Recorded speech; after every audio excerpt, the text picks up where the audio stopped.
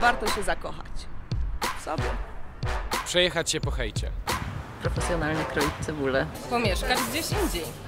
Zrobić coś na skalę światową. zmienić ten świat na lepszy.